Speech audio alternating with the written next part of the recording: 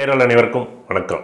இந்த நாள் இனிய நாள். வாழ்வில் எல்லாரும் எல்லா வளமும் பெற வேண்டும். நான் உங்கள் பொது உடைமூர்த்தி அச்சய இலக்கண பத்ததி ஜோதிட ஆராய்ச்சியாளர். ஒவ்வொரு நாளும் ஒரு ஜாதகத்தில் எந்த காலகட்டங்கள் யோகமான காலம் அப்படிங்கிறத பார்க்குறோம். இன்றைக்கி அப்படி வந்து அச்சய லக்கண பத்ததி அப்படிங்கிற ஜோதிட முறையில் வந்து நேற்று வந்து அச்சய லக்கணம் பத்ததி அச்சய லக்கணம் அச்சய ராசி அச்சய பாவகம். இந்த அச்சய பாவகம் என்பதை வந்து நம்ம இது நாள் வரைக்கும் பேசலை. ஏன் அப்படின்னா ஒரு நட்சத்திர புள்ளி நானூற்றி ஐந்து நாள் இயக்கும் அப்படிங்கிறது எல்லாருக்குமே தெரியும். இப்போ அச்சயலக்கண பத்ததியில் ஜாதகம் பார்க்கக்கூடிய நண்பர்களுக்கு தெரியும். அப்போ நான் என்ன சொல்கிறேன் அந்த நானூற்றி ஐந்து நாள் ஒரு நட்சத்திர பாதம் மட்டும் இயங்காது. அதை வந்து நம்ம வந்து உப நட்சத்திரங்கள் அல்லது வந்து தசாபுத்திகள் மாதிரி நம்ம வந்து அதை பிரிச்சிருக்கிறோம். அதை வந்து நாற்பத்தஞ்சு நாளைக்கு ஒரு கிரகம் இயக்கும்.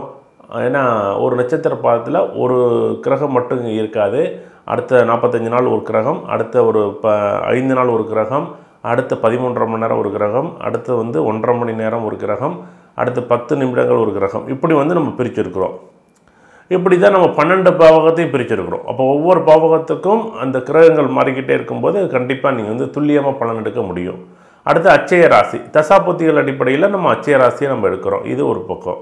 அச்சய பாவகம் என்பது ஒவ்வொரு பாவகத்தையும் இந்த ஒரு நட்சத்திர பாதி பன்னிரெண்டு பாவங்களாக பிரிக்கும்போது முப்பத்தி மூணு நாள் பதினெட்டு மணி நேரம் வந்து அது தொடர்புடைய க- ஒரு பாவகத்தை இயக்கும்.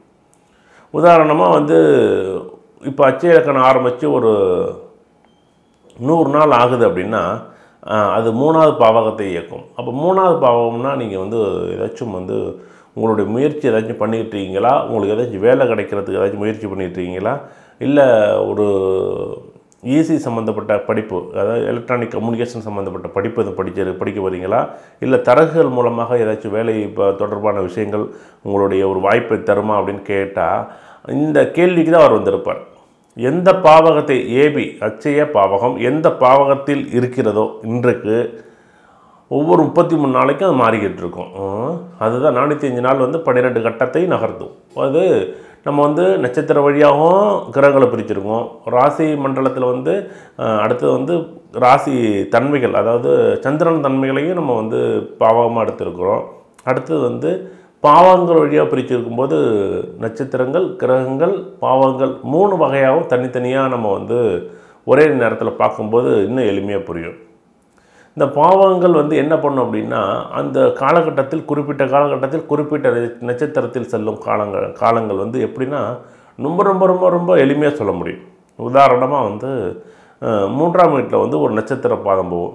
இப்போ உதாரணம் திருவாதிரை நட்சத்திரத்தில் போகுது அப்படின்னா அந்த ஜாதகருடைய விஷயம் வந்து பத்தாம் வீடாக இருந்துச்சு அப்படின்னா ராகு வந்து பத்தில் நின்றால் மேஷ லக்கணம் பத்தில் ராகு மூணாம் வீட்டில் திருவாதிரையில் போணுச்சு அப்படின்னா ஏபி அச்சய பாவகம். இதை வந்து அச்சய லக்கண பத்ததி படித்த மாணவர்களுக்கு புரியும். ஜோதிட நண்பர்களுக்கு புரியும். ஒன்று ஒன்று வந்து அதை உருவாக்கும் போது என்ன அப்படின்னா அது எந்த அளவுக்கு நமக்கு எதுக்காக அது பயன்படுது? எந்த எதன் நோக்கம் என்ன? நம்ம ஒரு ஆய்வு பண்ணுறோம் அப்படின்னா அந்த ஆய்வின் நோக்கம் என்ன? ஆய்வு சுருக்கம் என்ன? அந்த ஆய்வு சுருக்கத்திலேருந்து நம்ம என்ன கற்றுக் கொடுக்க போகிறோம் அப்படின்னு ஒவ்வொரு வகையாக நான் எழுதுவேன். அந்த மாதிரி இந்த பாவங்கள் நகரும்போது அது சார்ந்த கேள்விகளை இல்லை அது சார்ந்த ஒரு விஷயங்களை செயல்பாடுகளை தான் அந்த ஜாதகர் அதிகமாக இயக்குவார் இயங்குவார். இதுதான் உண்மை. அச்சய பாவம் எங்கே இருக்குது ரொம்ப ஈஸியாக பார்க்கலாங்க சார் நீங்கள் நீங்கள் அச்சய பாவத்தை பார்த்துட்டு நிறைய நண்பர்கள் வந்து பணம் சொல்கிறதா சொல்லுவாங்க. எனக்கு ஆச்சரியமாக இருக்கும். ஏன்னா ஒவ்வொரு நண்பர்களும் வந்து நான் எடுத்து கொடுத்த ஒவ்வொரு வி- அந்த அணுகுமுறைகளையும் ஒவ்வொருத்தர் பெரிய அளவில் ஆய்வு பண்ணி அதை வந்து பலமாக பிடிச்சிக்கிட்டாங்க. ஒருத்தர் அச்சய இலக்கணத்தை வச்சுக்கிட்டு பலன் சொல்கிறாரு ஒருத்தர் அச்சய ராசியை வச்சுட்டு பலன் சொல்கிறாரு ஒருத்தர் அச்சய பாவத்தை வச்சுட்டு பலன் சொல்கிறாரு இந்த மாதிரி அடுத்தடுத்த ஆய்வுகள் வந்து புத்தகமாக வெளியில் வரும்போது தான் அது இன்னும் மக்களுக்கு அது பயன்படும். ஒவ்வொரு கிரகங்களும் ஒவ்வொரு நிமிஷத்துலையும் அதாவது சொல்கிறேன்னே இறைவன் எங்கே இருக்கார்? தூணிலும் இருப்பான் துரும்பிலும் இருப்பான் அப்படிங்கிற மாரி இந்த கிரகங்கள் வந்து இந்த ஒவ்வொரு மினிட் செகண்டு அந்த செகண்ட் மில்லி செகண்ட்லேயும் அந்த கிரகங்களோட இயல்பா செயல்பாடுகள் தான் நம்மளை இயக்குது. நம்ம அதை தவிர அது அதுதான். உலகத்தில் வந்து எதுவுமே நடக்காது. அதுதான். அதுதான் இயக்குது அதுதான் இயங்குது. நம்ம வந்து என்னென்னா ஒரு வழிப்போக்கன் நம்ம வந்து அதை வந்து பார்க்கலாம் அதை உணரலாம் அதை எடுத்து சாப்பிடலாம். ஆனால் அதை வந்து என்ன பண்ணணும்? அப்படியே அப்படியே விட்டுட்டு நம்ம அடுத்தடுத்த பயணத்தை நோக்கி பயணிக்கலாம். சரி அப்போல்லாம் அப்படியெல்லாம் இது எதுக்கு அப்படின்னா நம்மளை நம் வளப்படுத்திக்கிறது.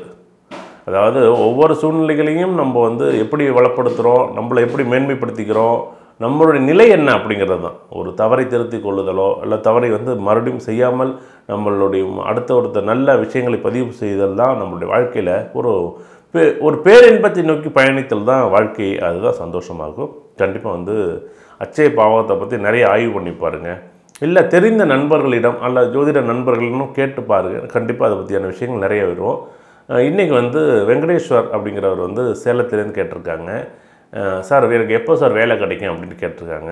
அதே லக்கணம் வந்து ஏஎல்பி லக்கணம் துலா லக்கணம். துலா லக்கணத்தில் சந்திரன் பத்தாம் அதிபதி சந்திரன் லக்கணத்தில் இருக்குது நம்ம என்ன சொல்லுவோம்? சந்திரன் எங்கே இருக்கோ? அது சம்மந்தப்பட்ட வேலை வாய்ப்பு உண்டு. ஜாதகர் எங்கே? வெளிநாடு சம்மந்தப்பட்டது சந்திரன் என்றால் வெளிநாடு சம்பந்தப்பட்டதல் அதே மாதிரி பத்தாம் வீட்டில் இருக்கக்கூடிய கிரகங்கள் குரு செவ்வாய் சுக்கிரன் பலமாக இருக்குது அதோட நீசபங்க ராஜயோகத்தில் அந்த கிரகம் இருக்குது அப்போ இது இருக்கிற இடத்த விட்டு வெளியில் போனால் மட்டும்தான் இவர் வந்து வெளிநாட்டு வேலைக்கு யோகத்தை கொடுக்கும். வெளிநாடு தான் இவருக்கு யோகத்தை கொடுக்கும். அப்போ எப்போ போகலாம் ஆயில்ய நட்சத்திரம் பத்தாம் வீடு இயக்குது.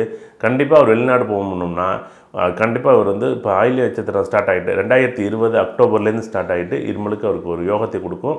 அடுத்த நான்கு வருடங்கள் ரெண்டாயிரத்தி இருபது டு ரெண்டாயிரத்தி இருபத்தி நாலு வரைக்கும் டிசம்பர் வரைக்கும் இவருக்கு எதிர்பாராத திடீர் யோகங்கள் வெளிநாட்டு யோகங்களை கொடுக்கக்கூடிய அமைப்பு உண்டு. கண்டிப்பாக அவருக்கு ஒரு மாற்றத்தை கொடுக்கும். கண்டிப்பாக அவர் ஒரு யோகத்தை கொடுக்கக்கூடிய அமைப்பு இவருக்கு இருக்குது சார் ஊரில் வேலை பார்க்கலாம் பார்க்கலாம்.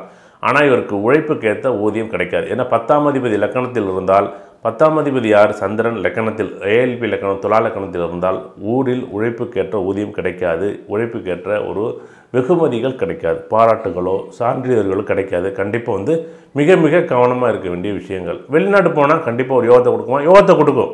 அதுமாரி தான் இந்த ஜாதகர் ஒரு பெரிய மாற்றத்தை கொடுக்கக்கூடிய அமைப்பு இந்த ரெண்டாயிரத்தி இருபது அக்டோபர்லேருந்து ஆரம்பிச்சுட்டு அடுத்து வரக்கூடிய நான்கு வருடங்கள் அதிர்ஷ்டம் அச்சய நேரம் அதிர்ஷ்டமான யோகமான காலம் எல்லாம் வல்ல இறைவன் முருகன் அருளால் இவர்களுக்கு பேர் புகழ் வேலை கிடைக்க வேண்டும் என நம்ம வேண்டுகிறேன்.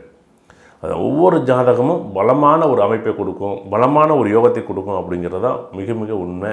இந்த ஜாதகம் இவ்வளோ பலமாக இருந்து இப்போ தான் ஆரம்பிச்சிருக்கு. சார் இதுக்கு முன்னாடி வந்து சனியோட நட்சத்திரம் பூச நட்சத்திரம் பத்தாம் வீடு இயக்கம் இருக்கும். ஏன் சனி பார்வையில் தானே சார் பத்தாம் வீடு இருக்குது ஏன் போகலன்னா?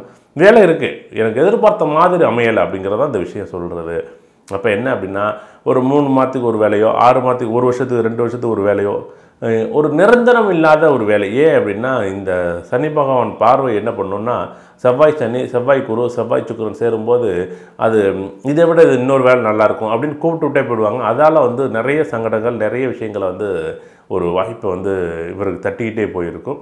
வரக்கூடிய காலகட்டங்கள் ஒரு யோகமான அமைப்பு இருக்குது கண்டிப்பாக வந்து எல்லாம் உள்ள இறைவன் முருகன் அருளால் இவர்களுக்கு நல்லதொரு வேலைவாய்ப்பு கிடைக்க வேண்டும் என வேண்டுகிறேன். மீண்டும் ஒரு இனியதொரு நிகழ்வு சந்திப்போம். நன்றி வணக்கம்.